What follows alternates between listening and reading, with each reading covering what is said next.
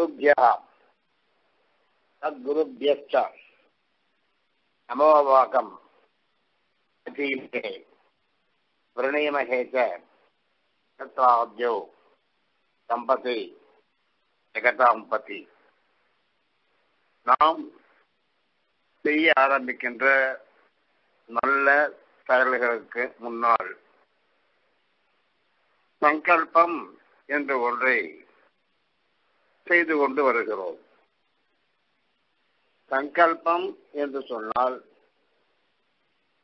நாம் செய்கின்ற நல்ல செயல் நல்லபடியாக நடந்து நல்ல பயனை அளிக்க வேண்டும் என்று பிரார்த்திப்பது. இந்த சங்கல்பத்திலே முதலிலே பிரதம ஆச்சாரியன் சர்வேஸ்வரன் தான் என்று அறுதியிடப்படுகிறது. பிரணயமகேச்ச தத்ர ஆத்யோ சம்பதி ஜெகதாம்பதி உலக நாயகனாக இருக்கின்ற செயப்பதியான நாராயணன் தான் பிரதம ஆச்சாரியன் என்று சொல்லி நாம் தொடங்குகிறோம். அதேபோல் பிரபந்தங்களை சேவிக்கும் பொழுது லக்ஷ்மிநாத சமாரம்பாம் நாத யாமுன மத்தியமாம் அஸ்மத் ஆச்சாரிய பர்யந்தாம் வந்தே குரு பரம்பராம் என்று சேவிக்கிறோம். இது குரு பரம்பரை. குரு யார் ஆச்சாரியன் யார் என்று நாம் தெளிவு தர வேண்டும். பலருக்கு இதில் தெளிவு இல்லை. குரு என்று சொன்னால் நமக்கு தெளிவில்லாத ஒரு விஷயத்தை நன்கு ஆராய்ந்து தெளிவுபடுத்துகின்றவர் எவரோ அவர் குரு. இருட்டிலே இருப்பவரை வெளிச்சத்திற்கு கொண்டு வருபவர். ஆச்சாரியன் சற்று மாறுபட்ட நிலை. ஆட்சி நோக்கி சாஸ்திரார்த்தானு. ஆச்சாரியன் சாஸ்திரங்களை எல்லாம் நன்கு அலசி பார்க்கிறார். வேதங்கள் உபநிடதங்கள் இவைகளை எல்லாம் நன்கு அலசி பார்க்கிறார். அலசி பார்த்து இன்றைய நடைமுறைக்கு எது சாத்தியம் என்று அறுதியிடுகிறார் ரொம்ப முக்கியம் இது. இன்றைய நடைமுறைக்கு எது சாத்தியம்? எழுநூத்தி ஐம்பது வருடங்களுக்கு முன்னால் ஆயிரம் வருடங்களுக்கு முன்னால் இருந்த நிலை வேறு. இன்றைய நிலை வேறு. இன்றைய மக்களுக்கு எது சாத்தியம் என்பதை ஆராய்ந்து பார்த்து அவற்றை முதலில் தான் நடைமுறையிலே வைத்துக் கொண்டிருக்கிறார். தான் நடைமுறையிலே வைத்துக் கொண்டிருந்து விட்டு பிறகுதான் உபதேசம் பண்ண வேண்டும். எனவே ஆச்சாரியன் வேறு குரு வேறு. இந்த பரம்பரையிலே சுயப்பரியான ராமாயணன். நமக்கு என்ன செய்திருக்கிறான் என்று ஒரு கேள்வி எழுகிறது. அதற்கு நாம் இப்பொழுது விடை காணப் போகிறோம். திருமடந்தை மண்மடந்தை இருபாலும் திகழ நலம் அந்தம் இல்லதோர் நாட்டில் அந்தமில் பேரின்பத்து அறியவரோடு ஏழுலகும் தனிக்கோள் செல்ல வீற்றிருக்கும்.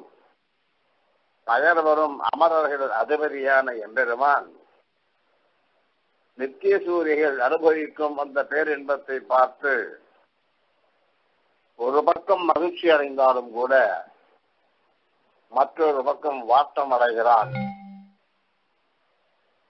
இப்படி இங்கே அனுபவிக்கின்ற அனுபவ நிலையை மறந்துவிட்டு மண்ணிலே ஜீவன்கள் தாயே தந்தை என்றும் தாரமே கலை மக்கள் என்றும் நோயே பற்றி உழலுகிறார்களே என்று எம்பெருமான வேதனைப்படுகிறான் இவர்களை கை தூக்கி விடுவதற்கு ஏதாவது வழி இருக்குமா என்று சிந்திக்கிறான். அப்படி சிந்தித்ததன் விளைவு அன்று இவ்வுலகினை ஆக்கி அரும்பொருள் நூல் விரித்து. எம்பெருமான் உலகத்தை கடலிலே மூழ்கி உலகத்தை இரண்டு பொருள் துன்பக் கடலிலே இருந்த உலகம் கடலிலே இருந்து வீட்டு வெளியிலே கொண்டு வந்தான். எனவேதான் நம் சம்பிரதாயத்திலே ஒரு வழக்கம் உண்டு. திருமணம் இட்டுக் கொள்ளும் பொழுது ஒரு மந்திரத்தை பெரியோர்கள் அனுசந்தானம் பண்ணுகின்ற வழக்கம் உண்டு. இது பலருக்கு தெரியாது. இந்த மந்திரம் எல்லோரும் தெரிந்து கொள்ள வேண்டிய மந்திரம். திருமணை குழைக்கும் பொழுது மண் கூத்தராட்டியை பார்த்துக்கார் மிருத்திகே ஹனமே பாபம்.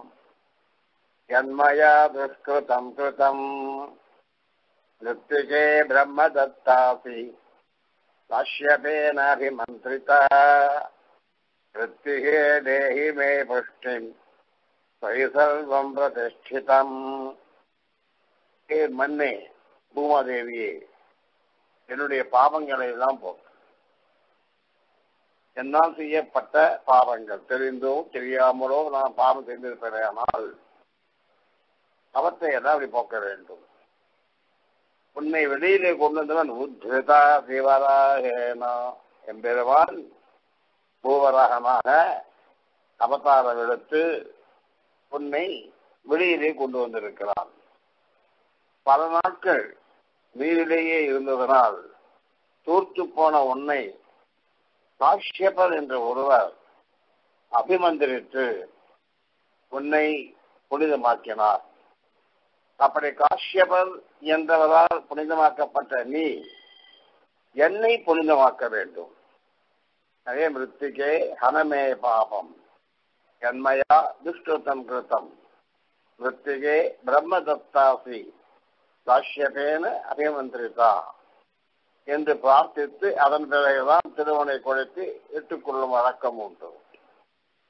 எம்பெருமான் மண்ணுள் கொண்டு வந்தான். அன்று இவ்வுலகை ஆக்கினான். உலகிலே இருக்கின்ற மக்கள் எல்லாம் உய்ய வேண்டும் என்பதற்காக அவனை வியாசனாக அவதரித்து வேதங்களை எல்லாம் பகுத்து கொடுத்தான். எப்படி பிரம்மம் ஒன்றோ அதுபோல் வேதம் ஒன்றுதான். அந்த ஒன்றை நான்காக பிரித்து கொடுத்தவர் வியாச பகவான். ஒரு நடைமுறை செய்தி ஆயிரத்தி தொள்ளாயிரத்தி நாற்பத்தி ஒன்பது ஐம்பது அப்பொழுது பள்ளியிலே படித்தவர்களுக்கு சோசியல் ஸ்டடீஸ் சமூக அறிவியல் என்றதோ புத்தகம் இருந்தது. அதிலே வரலாறு இருக்கும் புவியியல் இருக்கும் இயற்கை இருக்கும் ஆட்சி இருக்கும் எல்லாம் அடங்கி இருக்கும். அனைத்தும் ஒன்று திரண்ட ஒரு நூல் சமூக அறிவியல்.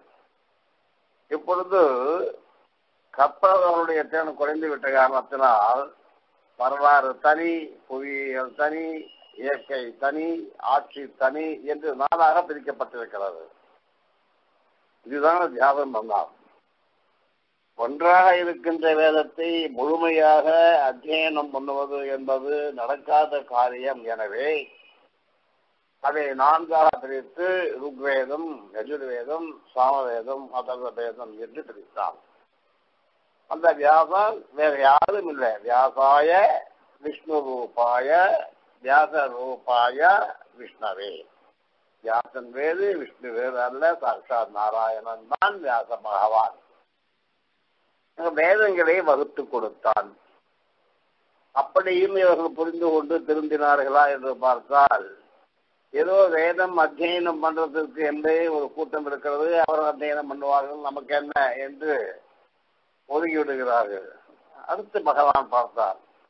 அடுத்த ஒரு நிலைக்கு வருகிறான் உபநிடதங்களை எல்லாம் ரிஷிகள் மூலமாக இந்த உலகிலே நிலைநிறுத்த வேண்டும் என்று உபநிடதங்களை கொண்டு வந்தார்.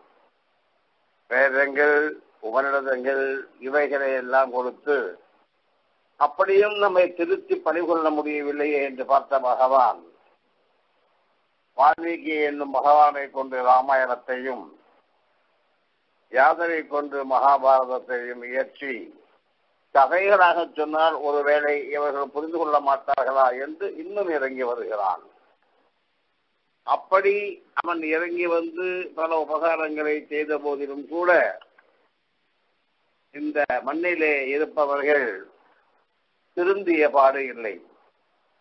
எம்பெருமான் வேதனைப்படுகிறான். ஒரு முறை ஒரு வியாசம் எழுதியே சேற்றிலே விழுந்து விட்ட தன் குழந்தையை எப்படியாவது சேற்றிலிருந்து எடுத்து அதை தூய்மைப்படுத்தி அழகுபடுத்த வேண்டும் என்று தாய் நினைக்குமா போலே. பெருமான் இந்த மண்ணிலே அவதாரங்களை எல்லாம் செய்து பார்த்தான் தன் லீலைகளினாலே சேற்றிதங்களினாலே இவர்களை திருத்தி பணிகொள்ள வேண்டும் என்று பார்த்தான் அப்பொழுதும் முடியவில்லை. கடைசியாக அவன் ஒரு முடிவிற்கு வருகிறான். நாம சென்று என்ன சொன்னாலும் இவர்கள் திருந்த போவதில்லை. எனவே மண்ணிலே ஆழ்வார்கள் எல்லாம் அவதாரம் பண்ண வேண்டும் என்று எம்பெருமான் திருவுள்ளம் பற்றினான். ஸ்ரீமத் பாகவதத்திலே ஒரு அருமையான ஸ்லோகம். கிருதாதிஷு பிரஜாராஜன் கலௌ இச்சந்தி சம்பவம். கலௌ கலு பவிஷ்யந்தி.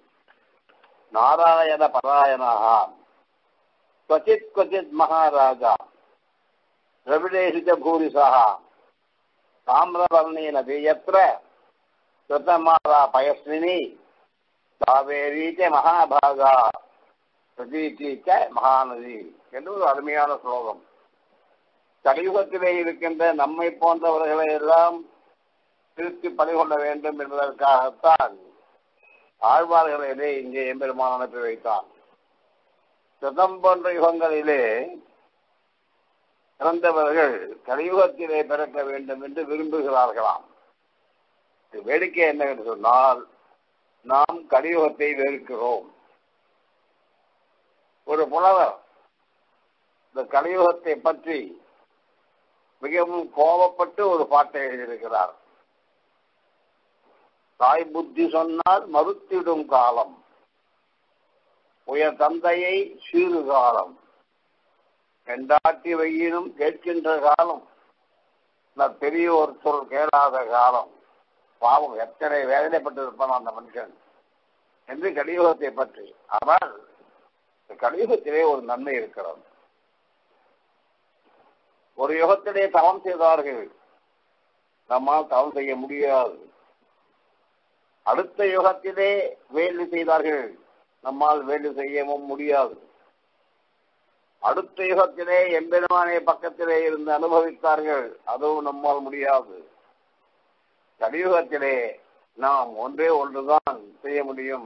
தரோ கலியுகத்திலே கேசவ கீர்த்தநாத்து ஆடி ஆடி அறம் கரைந்து இசை பாடி பாடி கண்ணீர் மல்கி நாடி நாடி நரசிங்கா என்று பாடி வாழும் இவ்வாறுகளே என்று எம்பெருமானுடைய திருப்பெயரை சொல்லி துள்ளியும் ஆடியும் தன்னை இழக்கின்றவர்கள்.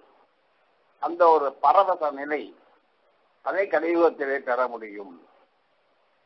அந்த நிலையை பெற வேண்டும் என்பதற்காகத்தான் பாரத் அனுபவத்திலே பிறந்தவர்களான வைகைமணி பூதத்தா பேயாழ்வார் தன் பொருள் வரும் குருகேசன் விஷ்ணுசித்தன் தூய குலசேகரன் நம் பானநாதன் தொண்டரடிப்பொடி மைசை வந்த ஜோதி பையமெல்லாம் அறைவிளங்க வாழ் வேல் ஏந்தும் மங்கையர்கோன் என்று இவர்கள் மகிழ்ந்து பாடும் செய்ய தமிழ் மாலை தமிழ் மாலைகள் நாம் தெரிய ஓதி தெரியாத மறைநிலங்கள் தெரிகின்றோமே என்று தேசியின் திருவுள்ளம்.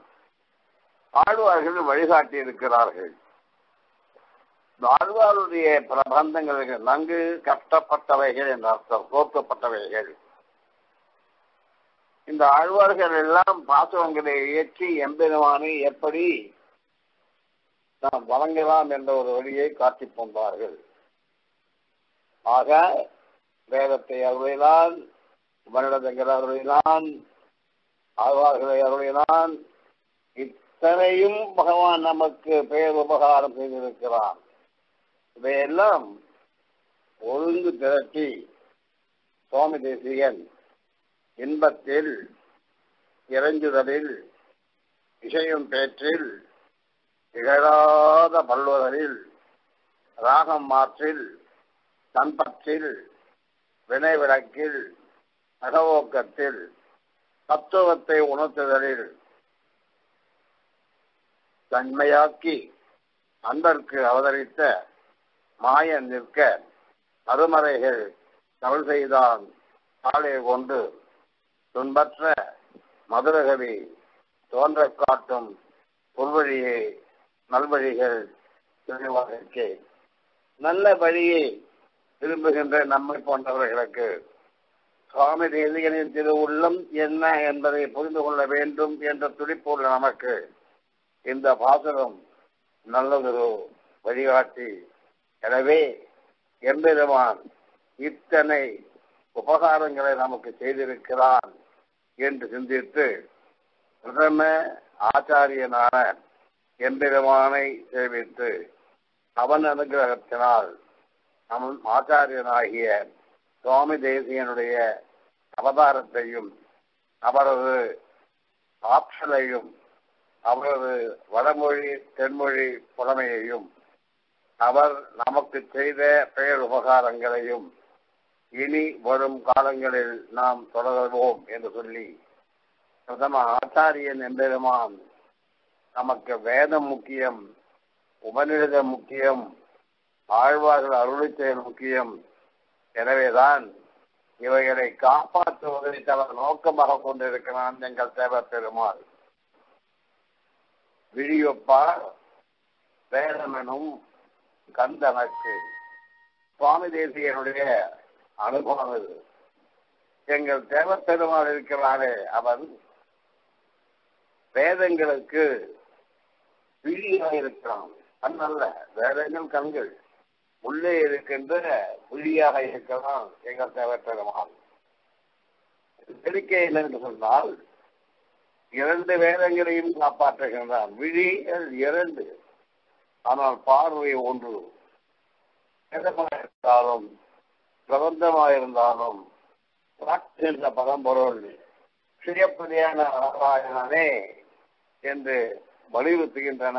எனவே இந்த வேதம் என்று நடைபெறுவதற்கு முக்கிய கண்ணாக இருப்பவன். எங்கள் தேவப்பெருமான் தான் விழி இல்லை என்று சொன்னால் புறப்பாடு இல்லை. இரண்டு பொருள். பார்வை இல்லை என்று சொன்னால் வெளியிலே வர முடியாது. வேதம் என்னும் விழியும் பிரபந்தம் என்னும் விழியும் இல்லை என்று சொன்னால் எங்கள் தேவ பெருமாளுடைய புறப்பாடு இல்லை. வேதம் கத்தவன் இங்க எம்பெருமான் அந்த எம்பெருமானையே தனக்கு எல்லாமாக கருதிய சுவாமி தேசிகனின் திருவுள்ளத்தை இனி வரும் காலங்களில் நாம் அனுபவிக்க இருக்கிறோம்.